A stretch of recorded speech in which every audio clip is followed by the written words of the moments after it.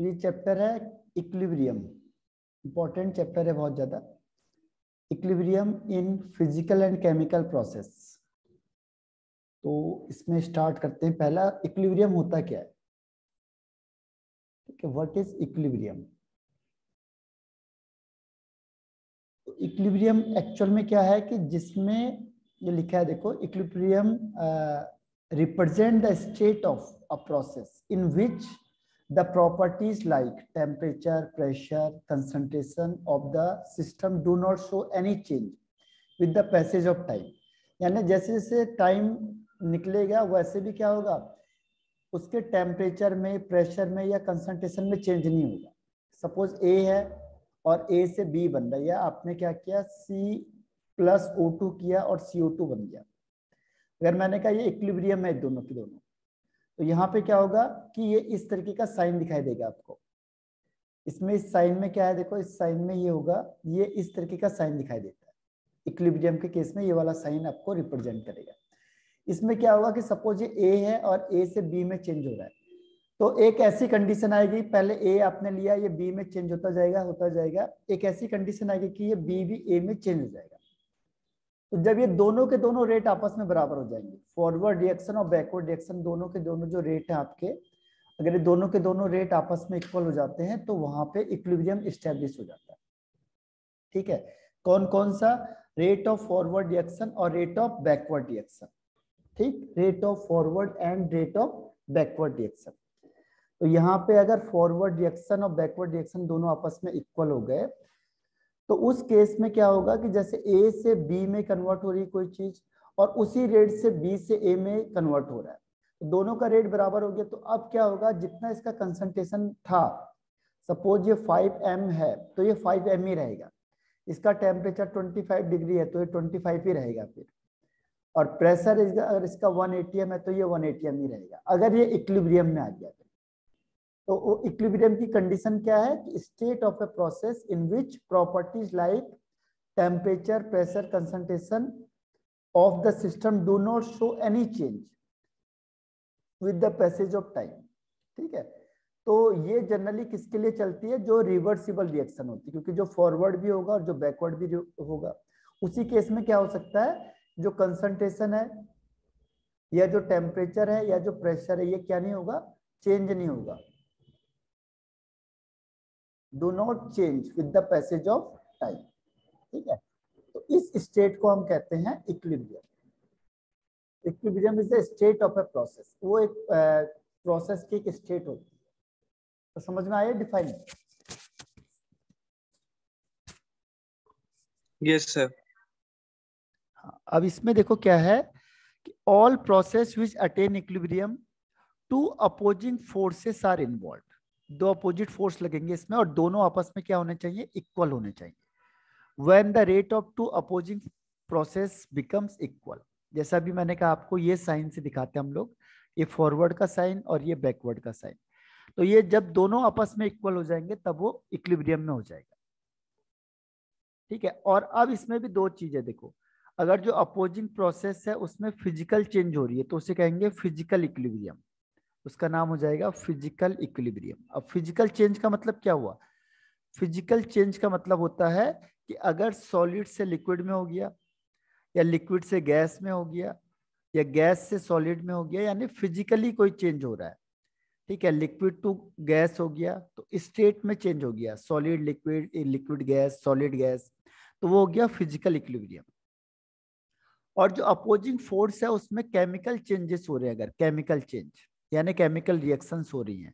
तो उसे कहेंगे केमिकल इक्विलिब्रियम अगर केमिकल रिएक्शन है तो केमिकल इक्विलिब्रियम और अगर केवल स्टेट चेंज हो रहा है सॉलिड से लिक्विड में लिक्विड टू गैस में या सॉलिड टू गैस में तो उस कंडीशन में हम कह देते हैं उसे फ़िज़िकल इक्विलिब्रियम तो आप फ़िज़िकल को बहुत कम पढ़ते हो मेन पढ़ते हैं यहाँ पे केमिकल इक्विलिब्रियम क्योंकि केमिस्ट्री है केमिस्ट्री में केमिकल इक्विलिब्रियम को हम ज़्यादा प्रीफर करते हैं। ठीक है? तो फ़िज़िकल और केमिकल इक्विलिब्रियम समझ में आ गए। फ़िज़िकल क्या है और केमिकल क्या है? यस सर हाँ तो सबसे पहले हमने क्या पढ़ा? इक्विलिब्रियम पढ़ा। इक्विलिब्रियम कहता है कि जो रिएक्शन है उसमें जो प्रॉपर्टीज़ है जैसे टेम्परेचर प्रेशर कंसंट्रेशन का ये चेंज नहीं होगा with the passage of time फिर इसके दो टाइप से इक्विलिब्रियम के। पहला था फ़िज़िकल इक्विलिब्रियम और सेकंड है केमिकल इक्विलिब्रियम तो फ़िज़िकल का मतलब होता है कि जिसमें जो अपोजिंग फोर्स लगेगा, उसमें फ़िज़िकल चेंजेस हो जाएँगे। फ़िज़िकल चेंज का मतलब स्टेट चेंज हो जाना, जैसे सॉलिड से liquid liquid to gas gas to solid तो फ़िज़िकल इक्विलिब्रियम में आएगा। केमिकल इक्विलिब्रियम का मतलब होता है जब अपोजिंग प्रोसेस होगी जो वो, उसमें केमिकल चेंज होगा। तो उसे कहेंगे केमिकल इक्विलिब्रियम अब इसके आगे बढ़ जाते हैं।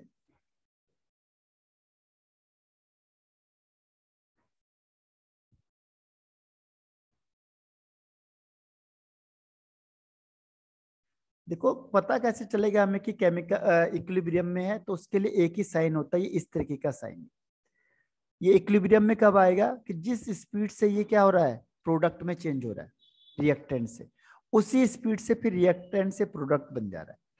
सॉरी प्रोडक्ट टू रिएक्टेंट बन जा रहा है। तो दोनों की स्पीड सेम हो गई तो तब क्या होगा? अब इसमें कोई चेंज हो नहीं सकता है, इसीलिए। तो इसको हम जनरली इस साइन से दिखाते हैं। ठीक है? तो ये साइन ध्यान रखना, जब भी ये साइन आएगा, इसका मतलब वो इक्विलिब्रियम में है। इसका मतलब हुआ, जो रेट ऑफ़ फॉरवर्ड रिएक्शन और रेट ऑफ़ बैकवर्ड रिएक्शन है जो, वो दोनों आपस में इक्वल हो जाते हैं। तो इसके बाद हम इसको रिप्रेजेंट करते हैं इस एरो से। डबल हेड टू ये पहला लाइन से। अब इसके बाद नेक्स्ट आता है कुछ कंडीशंस है हमारे पास। क्लासिफिकेशन है इसमें। Based on the extent of reaction extent मतलब किस हद तक रिएक्शन हो रही है बिफोर इक्विलिब्रियम क्योंकि एकदम से तो इक्विलिब्रियम आएगा नहीं। अगर आपने कोई चीज़ पहले रख रही है, पहले तो रिएक्शन करके बी बनाएगा, फिर एक ऐसी कंडीशन आ जाएगी कि बी ए में ए से बी में काफ़ी चेंज हो जाएगा, फिर बी से ए में कन्वर्ट होना स्टार्ट हो जाएगा। फिर धीरे धीरे करके क्या होंगे, दोनों के स्पीड बराबर हो जाएँगे। तो कहता है कि इसमें हम तीन तरीके की रिएक्शंस को देखते हैं। पहला रिएक्शन देखते हैं कि दो reaction which proceed almost to completion यानी जो पूरी की पूरी कंप्लीट हो गई। तो जो कंप्लीट वाली होती है, उसको हम किसमें काउंट नहीं करते? उसको हम इसमें काउंट नहीं करेंगे। ठीक है? जो पूरी की पूरी क्या हो गई? कंप्लीट हो गई। तो वो तो इक्विलिब्रियम है ही नहीं। तो ये इक्विलिब्रियम में नहीं माना जाएगा। ठीक है? ये वाला क्या होगा? इक्लिब्रियम में नहीं आएगा। क्यों नहीं आएगा? क्योंकि तो ऐसी हो गया, जैसे मैंने कहा H two plus O two gives H अब ये पूरा का पूरा एच टू बन गया। तो फॉरवर्ड रिएक्शन और बैकवर्ड रिएक्शन तो चेंज हुई नहीं। आ, मतलब उसमें इक्वल तो आया नहीं है। ये तो एक ही डायरेक्शन में जा रही है बस तो ये इक्विलिब्रियम में नहीं माना जाएगा। तो कहता है कि जो भी रिएक्शन कंप्लीट हो रही है ऑलमोस्ट यानी जिसमें एक एरो दिख गया ये तो इसे इक्विलिब्रियम में हम एज्यूम नहीं करेंगे पहली चीज़। ये इक्विलिब्रियम नहीं माना जाएगा। जो एक ही डायरेक्शन में जा रहा है यानी जो कंप्लीट हो जा रहा है वो इक्विलिब्रियम नहीं है। सेकेंड पॉइंट क्या देखो इसका? सेकेंड पॉइंट ये है कि दो reactions in which only small amount of reactant reacts and equilibrium is attained the amount of product formed is very small and the amount of reactant left at equilibrium are very large. ठीक है? अब इसमें कह रहा है कि reaction in which only small amount of reactant reacts इसका मतलब क्या हुआ? जैसे ए है आपके पास और ये गिव्स बी अब आपने ये है आपके पास 100 ग्राम ए लेकिन इसका 100 ग्राम में से केवल 5 ग्राम ही ए चेंज हो रहा है बी में। तो इसका 95 ग्राम क्या हो गया? लेफ़्ट रह गया। कह रहा है जिसमें लेफ़्ट बहुत ज़्यादा है लेफ़्ट हो गया इसमें 95 ग्राम। और रिएक्शन कितना कर रहा है? केवल 5 ग्राम। तो ये 5 ग्राम ही कन्वर्ट कर पाएगा। ठीक है? तो ये वाले भी इसमें नहीं आएँगे। अब थर्ड आता है इसमें those reaction which proceed to such an extent that concentration of reactant and product at equilibrium are comparable यानी दोनों के दोनों लगभग सेम होंगे। जैसे ये है आपके पास, ये हंड्रेड ग्राम था और ये आपने चेंज किया बी में। अब ये सपोज़ करो ये हो गया फिफ्टी ग्राम तो यहाँ से फिफ्टी ग्राम चेंज हुआ होगा। तो लगभग लगभग जो इसमें लेफ़्ट होगा ए लेफ़्ट वो भी फिफ्टी के आसपास हो गया और जो बी बन रहा है वो भी फिफ्टी यानी दोनों के दोनों इक्वल हो गए, ये कंपेरेबल हो गए। तो उसे कहेंगे हम इट इज़ इन इक्विलिब्रियम में। तो ये, उसके कैटेगरी उसने बताया कि इस कैटेगरी में हम क्या कर सकते हैं, किसको किस कैटेगरी में रखना है वो डिपेंड करता है कि कितना एक्सटेंड तक रिएक्शन हो रही है। अगर कम परसेंटेज हो रही है तो अलग होगा हंड्रेड परसेंट हो रहा है तो अलग होगा। तो इक्विलिब्रियम में कौन सा आएगा जनरली जिसका कंपेरेबल कंसंट्रेशन बच जाता है। वो इक्विलिब्रियम में आता है। ठीक है? बाकी का नहीं आएगा। तो समझ में आया? यस सर तो इक्विलिब्रियम का मतलब सिर्फ़ यही है कि अगर ए और बी तो जिस स्पीड से ए बी में कन्वर्ट हो रहा है इसे कहते हैं रेट ऑफ़ फॉरवर्ड रिएक्शन उसी स्पीड से क्या होगा? बी से ए में कन्वर्ट हो जाएगा। यानी रेट ऑफ़ फॉरवर्ड एक्शन और rate of backward action equal हो गए। तो उसी को हम कह देते हैं इक्विलिब्रियम में। अब नेक्स्ट पॉइंट आता है इसमें।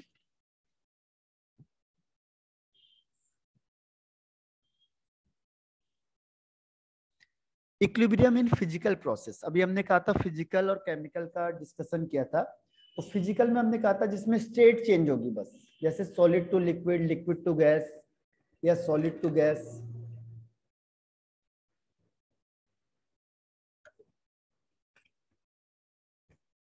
तो यहाँ पे भी क्या होगा देखो मोस्ट कॉमन इक्विलिब्रियम क्या है कि सॉलिड से लिक्विड में चेंज हो गया। अब इसकी पहचान ये है, देखो ये एरो दिखेगा। अगर ये एरो नहीं है सिंपल ये है तो ये इक्विलिब्रियम में काउंट नहीं होगा। क्योंकि तो इक्विलिब्रियम क्या होता है कि रेट ऑफ़ फॉरवर्ड रिएक्शन और रेट ऑफ़ बैकवर्ड एक्शन दोनों आपस में इक्वल हो जाते हैं। अब यहाँ पे बैकवर्ड तो है ही नहीं, ये तो फॉरवर्ड ही फॉरवर्ड है। ये कंप्लीट की तरफ़ जाता है, जबकि इक्विलिब्रियम कभी भी कंप्लीट नहीं होता है। ये कंप्लीट हो ही नहीं सकता। क्योंकि तो जिस हिसाब से क्या है जिस हिसाब से फॉरवर्ड जा रहा है उस हिसाब से बैकवर्ड हो जाता है तो आ, जो कंप्लीट है वो तो होगा ही नहीं। तो कंप्लीट नहीं होगा तो इक्विलिब्रियम कंडीशन में ऐसे liquid to gas solid to gas और इसके बाद सॉलिड से solid solution gas to gas solution ठीक है? तो ये हो गया फ़िज़िकल प्रोसेस यानी कि फ़िज़िकल इक्विलिब्रियम तो फ़िज़िकल इक्विलिब्रियम क्या होगा? जिसमें स्टेट चेंज हो जाता है। तो इसकी स्टडी हम ज़्यादा नहीं करते यहाँ पे। ये केवल नॉलेज के लिए ज़्यादा है। ठीक? तो ये फ़िज़िकल इक्विलिब्रियम के एग्जांपल समझ में आ गए? सर एक बार वापस से समझा दो इसे। देखो इसमें फ़िज़िकल प्रोसेस फ़िज़िकल प्रोसेस का मतलब क्या हुआ? सर जो वापस से रिवर्स हो जाए प्रोसेस हाँ। जो वापस से रिवर्स हो जाएगी। लेकिन फ़िज़िकल का मतलब क्या हुआ?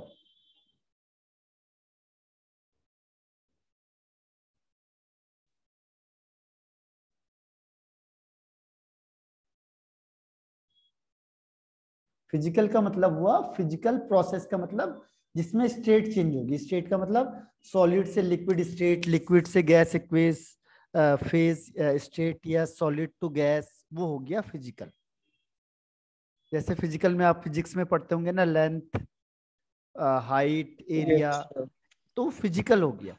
और केमिस्ट्री में क्या है? केमिस्ट्री में केमिस्ट्री में हम पढ़ते हैं केमिकल रिएक्शन को। ठीक है? यस सर ठीक? तो ये है इसका रीजन इसमें।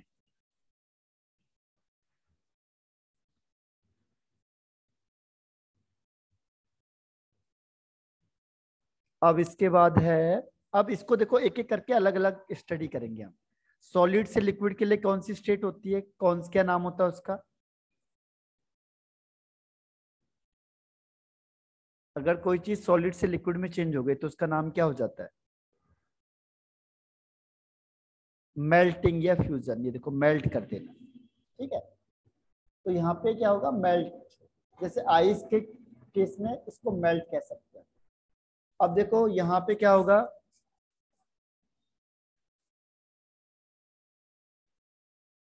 यहाँ पे ये होगा कि जैसे ये था आपके पास सॉलिड सॉलिड क्या है यहाँ पे? वाटर ये H2O और ये है लिक्विड H2O ठीक है? अब आपने क्या किया? सॉलिड को मेल्ट किया। और ये किसमें चेंज हो गया? लिक्विड में। और ये लिक्विड है लिक्विड से किसमें चेंज हो गया? फिर ये सॉलिड ठीक है? अब मैंने कहा ये इक्विलिब्रियम में तो इक्विलिब्रियम का मतलब क्या हुआ ये? Rate of melting of ice यानी कि जिस स्पीड से ये आइस चेंज हो रही है किसमें? लिक्विड में। इक्वल टू किसका? Rate of freezing of water उसी हिसाब से रेट क्या हो रहा है? वाटर भी फ्रीज हो रहा है किसमें? सॉलिड में। ठीक है? तो दोनों की स्पीड सेम हो गई, तभी तो क्या होगा? जो कंसंट्रेशन है, जो टेम्परेचर है, जो प्रेशर है, ये क्या नहीं होंगे? चेंज नहीं होंगे। ठीक है? डू नॉट चेंज ये चेंज नहीं होंगे तो जिस स्टेट में चेंज नहीं होंगे यानी इक्विलिब्रियम में आ गए। लेकिन इसका मतलब ये नहीं कि रिएक्शन नहीं हो रही रिएक्शन तो कंटिन्यू हो रही है। ये इसमें चेंज हो रहा है ये इसमें चेंज हो रहा है। लेकिन दोनों की स्पीड सेम है। ठीक है? आया समझ में? यस सर हाँ। अब यहाँ पे ये है आपका सॉलिड और तो ये क्या हुआ? स्टेट चेंज हो गया किसमें? सॉलिड से लिक्विड में। तो इसे कहते हैं ये सॉलिड लिक्विड इक्विलिब्रियम तो सॉलिड टू लिक्विड में चेंज होना। अब यहाँ पे कुछ भी हो सकता है, हमने एग्ज़ाम्पल लिया इसमें। एग्ज़ाम्पल दो ले लिए। एक है वाटर आइस में होना चाहिए और ये वाटर लिक्विड में होना चाहिए। ठीक है? तो यहाँ पे क्या होगा? सॉलिड से लिक्विड में चेंज हो गया लिक्विड से सॉलिड में चेंज हो गया। तो दोनों की स्पीड सेम होनी चाहिए। अगर ये दोनों की स्पीड सेम होगी, तभी तो कोई चीज़ चेंज नहीं होगी। कंसंट्रेशन सेम रहेगा टेम्परेचर सेम रहेगा और आ, और क्या रहेगा? प्रेशर सेम रहेगा ठीक है? तो ये जो इक्विलिब्रियम कंडीशन किस केस में आएगी? जब rate of melting of ice और rate of freezing of water दोनों सेम हो जाएँगे तो उस स्टेज में आ, क्या होता है? उसे कहेंगे इक्विलिब्रियम ठीक? यस सर हाँ तो ये हो गया सॉलिड लिक्विड इक्विलिब्रियम अब नेक्स्ट आता है इसमें तो ये समझ में आ गया ना आपको? यस सर अब इसके बाद नेक्स्ट है एक चीज़ और कह रहा है यहाँ पे कि इस स्टेट में वो क्या हो जाता है? फ्रीज हो जाता है देखो the freeze the temperature at which the solid and liquid form of a pure substance are is equilibrium अगर ये दोनों के दोनों इक्विलिब्रियम में इक्विलिब्रियम का मतलब फॉरवर्ड डिरेक्शन और बैकवर्ड डिरेक्शन आपस में क्या हो गई? इक्वल हो गई। तो वहीं पे उसका क्या हो जाता है? फ्रीजिंग पॉइंट या मेल्टिंग पॉइंट ठीक है? क्योंकि दोनों सेम होगा। अगर मैंने क्या बोला? आइस का मेल्टिंग पॉइंट बताओ तो आप क्या बोलोगे? ज़ीरो डिग्री सेल्सियस है ना? यस सर मैंने कहा आइस का फ्रीजिंग पॉइंट बताओ तो कितना होगा फ्रीजिंग पॉइंट भी? ज़ीरो डिग्री सेल्सियस ठीक है? तो दोनों के दोनों सेम हो जाते हैं। और जबकि दोनों के मीनिंग अलग है। मेल्टिंग का मतलब मेल्ट होना यानी सॉलिड से लिक्विड में चेंज होना तो भी ये ज़ीरो पे चेंज हो जाता है। और अगर लिक्विड से सॉलिड में चेंज हो रहा है तो भी क्या होगा? ज़ीरो पे चेंज हो जाता है। फ्रीज होगा जो वो ज़ीरो पे होता है। तो ये आपका हो गया पहला स्टेप अब सेकंड आता है जब आपने क्या किया? लिक्विड टू गैस उसे कहेंगे लिक्विड गैस इक्विलिब्रियम ठीक है? लिक्विड गैस इक्विलिब्रियम ये हो जाएगा आपका लिक्विड गैस इक्विलिब्रियम। तो इसके नाम से पता चल रहा है आपको, लिक्विड गैस इक्विलिब्रियम का मतलब जब लिक्विड से गैस में चेंज होगा ये। H2O लिक्विड में था और H2O गैस में चेंज हो गया। तो लिक्विड टू गैस में चेंज होगा तो जब लिक्विड से गैस में चेंज होगा तो उसे कहते हैं इवेपोरेशन तो rate of evaporation equal to rate of condensation जब गैस टू लिक्विड होता है तो उस प्रोसेस को कहते हैं कंडेंसेशन तो rate of evaporation and rate of condensation अगर सेम हो गए तो उसे कहेंगे इक्विलिब्रियम में. तो ये कंडीशन हो जाएगी इक्विलिब्रियम की. अगर दोनों के दोनों रेट क्या हो गए आपस में? सेम हो गए. ठीक है? और दोनों के दोनों रेट होंगे तो देखो मेन चीज़ क्या है इसमें आगे? इसका मेन चीज़ क्या है कि जो इसका कंसंट्रेशन होगा, जो इसका टेम्परेचर होगा और जो इसका प्रेशर होगा, वो चेंज नहीं होगा फिर with the passage of time फिर आप कितना भी करोगे, ये सेम रहेगा। स्टार्टिंग में नहीं होता, एक स्टैंड के बाद होता है। ठीक है तो जब एक स्टैंड के बाद होगा तो इससे कहेंगे हम यहाँ पे, क्या रेट ऑफ़ सॉरी ये इक्लिब्रियम है। तो मेन पूरा चैप्टर किस पे बेस्ड है? इक्लिब्रियम पे बेस्ड है। तो इक्विलिब्रियम को हमने अप्लाई करना हर एक जगह पे। तो यहाँ पे हमने किस पे अप्लाई किया कि कोई चीज़ हम, हमने ली लिक्विड और उसे किसमें चेंज कर दिया? गैस में। ठीक है? तो लिक्विड टू गैस में चेंज कर दे तो लिक्विड से गैस को हम क्या कहते हैं? इवेपोरेशन तो रेट ऑफ़ इवेपोरेशन और गैस से जब हम किसी चीज़ को लिक्विड में चेंज करते हैं तो उसे कहते हैं कंडेंसेशन तो जब रेट ऑफ़ इवेपोरेशन और कंडेंसेशन सेम हो जाता है तो उस स्टेज को हम कहते हैं इक्विलिब्रियम में। ठीक है? और ये इसका एग्ज़ाम्पल हो गया। H2O लिक्विड था, आपने हीट किया H2 गैस में कन्वर्ट हो गया। तो समझ में है यस सर अब इसके बाद है अगर सॉलिड से सर इसमें हंड्रेड डिग्री होता है ना रेट ऑफ़ इवेपोरेशन का तो? हाँ हंड्रेड डिग्री सेल्सियस पे।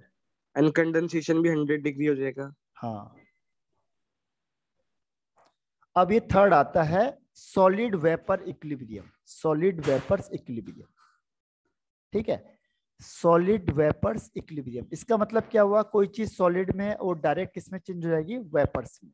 इस प्रोसेस को क्या बोलते हैं? पता है आपको?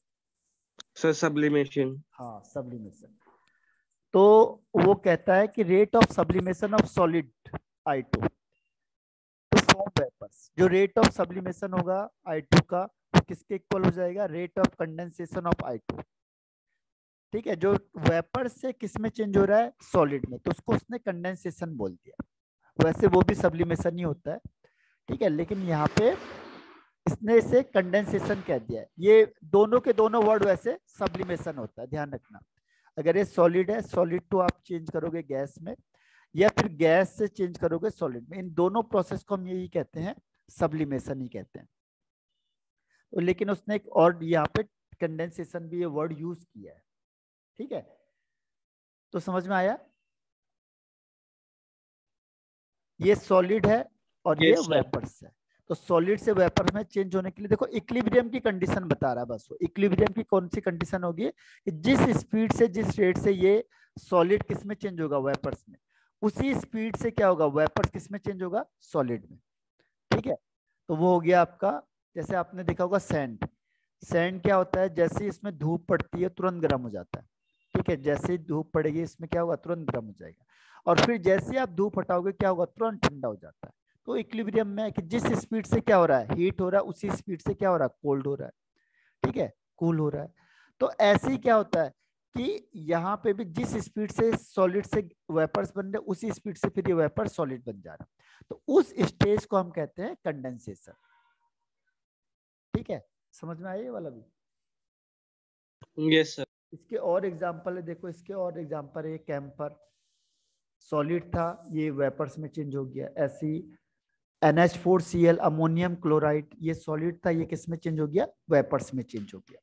तो सॉलिड टू वेपर्स में चेंज हो जाना है ये आपका आ, किसका है? ये फ़िज़िकल इक्विलिब्रियम वाले ये। अब आता है इसमें डिसोल्यूशन वाला। डिसोल्यूशन का मतलब जानते हो क्या होता है?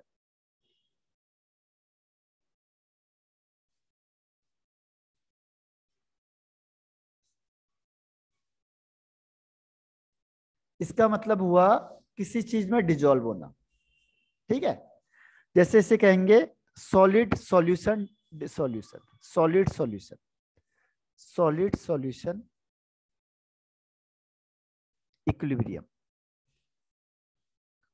इसमें क्या है कि देखो ये सॉलिड ले लिया, जैसे शुगर ले लिया।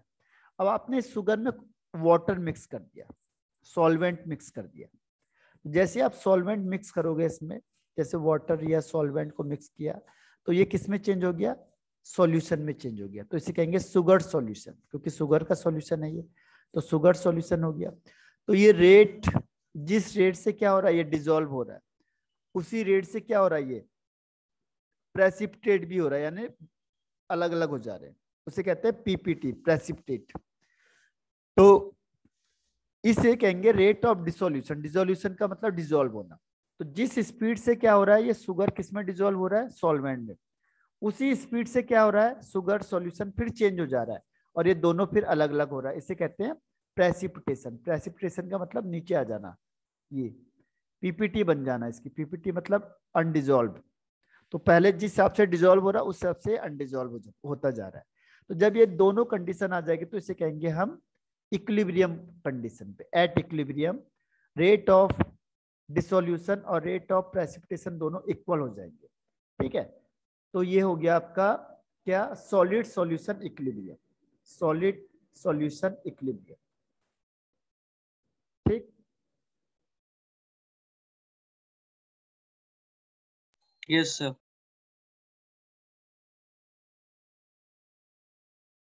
अब नेक्स्ट है आपका गैस गैस को भी हम किसमें डिजोल्व कर सकते हैं? तो एग्ज़ाम्पल बता सकते हो कि गैस को हम इसमें सॉल्वेंट में डिजोल्व करेंगे कोई? सर लिक्विड में? हाँ।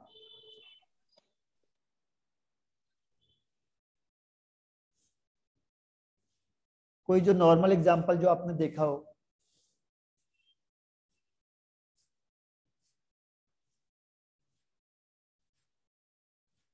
वो है कोल्ड ड्रिंक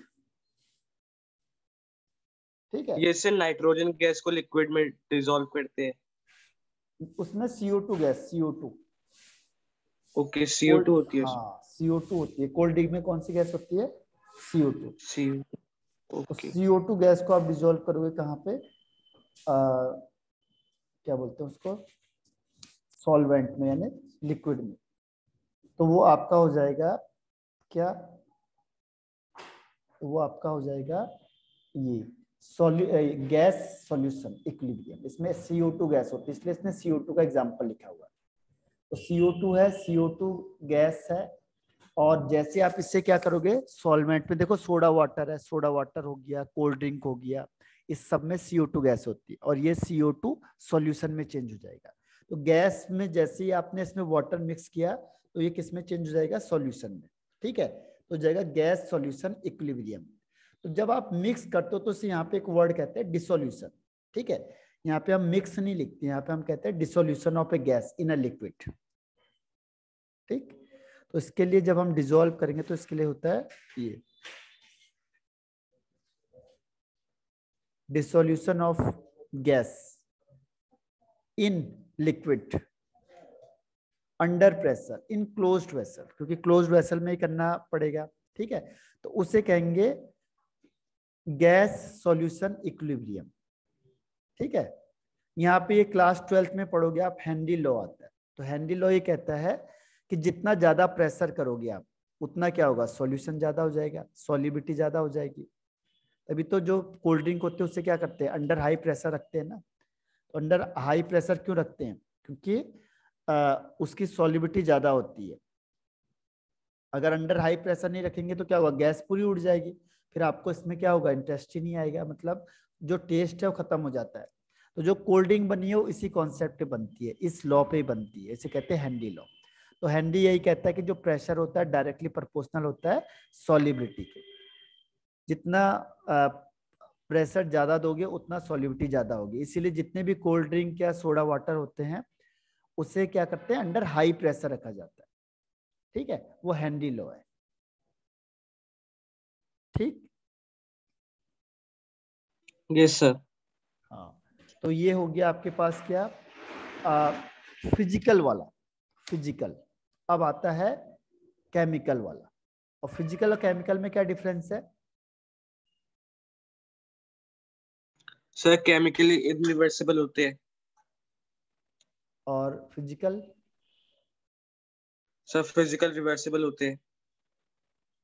नहीं। दोनों के दोनों रिवर्सिबल होंगे ना? इक्विलिब्रियम कब आएगा? जब रिवर्सिबल होंगे? नहीं तो इक्विलिब्रियम ही कहाँ से रह गया? फ़िज़िकल में फ़िज़िकल स्टेट चेंज होती है। जैसे solid to liquid liquid to gas solid to gas वो फ़िज़िकल प्रोसेस होंगी। और केमिकल में क्या होगा? सर यहाँ पे केमिकल सिस्टम केमिकल चेंज होंगे। हाँ केमिकल का कॉम्बिनेशन होगा। हाँ केमिकल रिएक्शन केमिकल चेंज तो इसलिए केमिकल बोल दिया। फ़िज़िकल आती नहीं है आपके पास ज़्यादा केमिकल ही होती है।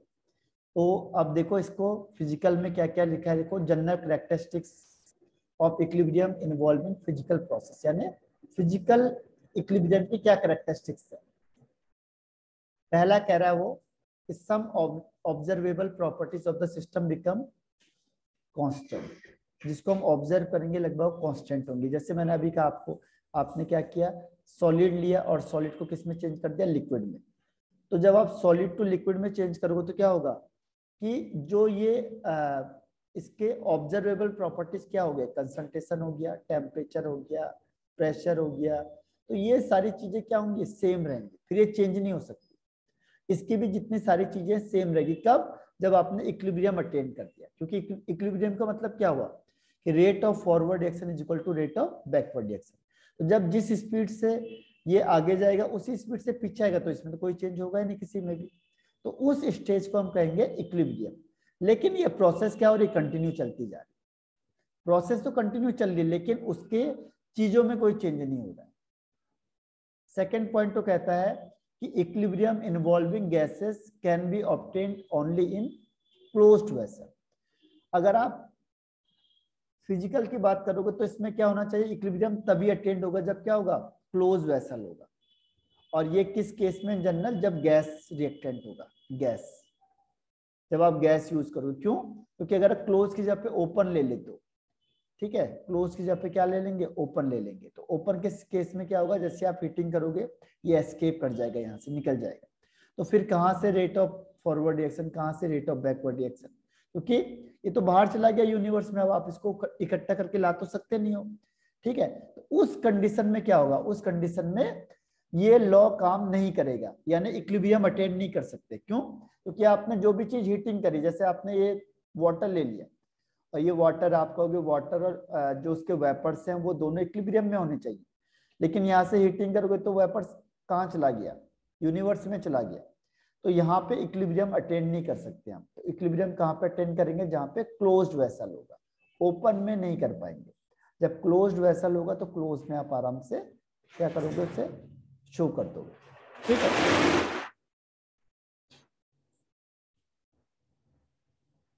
थर्ड है, देखो थर्ड है equilibrium is a dynamic in nature dynamic का मतलब दोनों रिएक्शन होती जा रही है। ऐसा नहीं कि अपनी जगह पे रुक गया, तुम बोल गए तो टेम्परेचर भी चेंज नहीं हो रहा है प्रेशर भी चेंज नहीं हो रहा है कंसंट्रेशन भी चेंज नहीं हो रहा है। इसका मतलब ये रिएक्शन चल ही नहीं रही है। तो ऐसा नहीं है कि रिएक्शन नहीं चल रही रिएक्शन चल रही है कंटिन्यू सॉलिड है सॉलिड से लगातार ये लिक्विड में चेंज हो रहा है। ये लिक्विड है लिक्विड से सॉलिड में चेंज हो रहा है। लेकिन दोनों की स्पीड बराबर है। रेट ऑफ़ फॉरवर्ड रिएक्शन और रेट ऑफ़ बैकवर्ड रिएक्शन दोनों की स्पीड क्या है? इक्वल है। तो आपको लग रहा है कि कोई चेंज हो नहीं रहा। लेकिन ये प्रोसेस क्या है? कंटिन्यू होती जा रही है। इसे कहते हैं डायनामिक इन नेचर ठीक है? There are two opposing forces taking place at equal rates दो अपोजिंग प्रोसेस चल रही है दोनों के दोनों वो कंटिन्यू होती जा रही है। तो इसलिए एक वर्ड आता है इसके लिए डायनामिक ये डायनामिक होता है। ठीक? यस सर फोर्थ में कह रहा है देखो अभी हम इसी को कह रहे थे कि जो इक्विलिब्रियम होता है इसमें कंसंट्रेशन हो गया वो क्या रहेगा? कांस्टेंट रहेगा। एट कांस्टेंट टेम्परेचर ना टेम्परेचर भी आप कांस्टेंट रखोगे कंसंट्रेशन भी कांस्टेंट रहेगी प्रेशर भी कांस्टेंट रहेगा, ये नहीं कि चेंज हो जाएगी, ठीक है? तो अगर आपने इक्विलिब्रियम कंडीशन है तो उसमें टेम्परेचर कंसंट्रेशन और प्रेशर ये सारी चीज़ें क्या रहेंगी? कांस्टेंट यानी फिक्स रहेंगे। चेंज नहीं होंगी ये। अगर ये चेंज होगी, इसका मतलब वो इक्विलिब्रियम में नहीं है, ठीक है? तो ये ध्यान रखना आपको फोर्थ कंडीशन तो फोर्स समझ में आ गया? यस सर अब फिफ्थ पॉइंट फिफ्थ पॉइंट कह रहा है वो at equilibrium there exist an expression involving the concentration of a substance which is constant at constant temperature ठीक है? अगर ये देखो ये क्या है आपका? प्रोडक्ट और ये क्या है? रिएक्टेंट ठीक है? तो इन दोनों के कंसंट्रेशन का रेशियो वो क्या रहेगा? वो भी कांस्टेंट रहेगा। वो चेंज नहीं होगा। ठीक है? क्या चीज़ चेंज नहीं होगी? जो कंसंट्रेशन है किसका? CO2 का, यानी प्रोडक्ट का। और जो कंसंट्रेशन है किसका? रिएक्टेंट का, यानी CO2 गैस का। जो कंसंट्रेशन किसकी है? प्रोडक्ट की। और जो ये कंसंट्रेशन लिख देता हूँ प्रोडक्ट की। और ये कंसंट्रेशन है रिएक्टेंट की। तो इन दोनों का रेशियो क्या रहेगा? कांस्टेंट रहेगा। इसको आप चेंज नहीं कर सकते। ठीक है? चाहे आप कुछ भी करो लेकिन इन दोनों का रेशियो निकालेंगे तो सेम रहेगा। अगर आपने टेम्परेचर क्या रखा है? कांस्टेंट रखा है। तो ये इसका फिफ्थ पॉइंट हो गया। ठीक?